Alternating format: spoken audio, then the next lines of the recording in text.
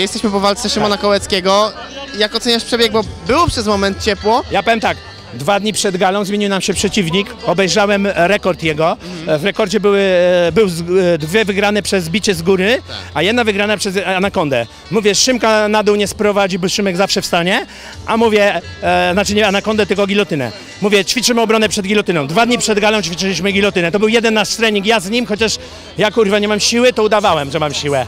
I robiliśmy, zrobił może 30 powtórzeń, i wcześniej też trochę robiliśmy to, dlatego że mówię, no zawsze warto wiedzieć, no nie? I w sumie dwa razy to robiliśmy.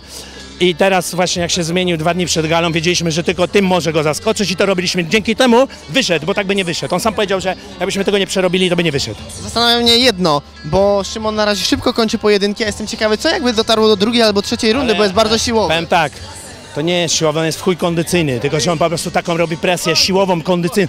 On na treningach, e, jak robimy od ściany do ściany bieganie z fikołkami, to Chmielewski, Trypson, Marian, wszyscy robią, go wyprzedzają. A jak mówię zawody, to wszystkich wyprzedza.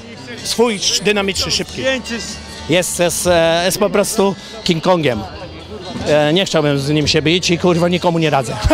o kurwa, zabraknie przeciwników. Dobra, dziękuję bardzo, szybkie podsumowanie.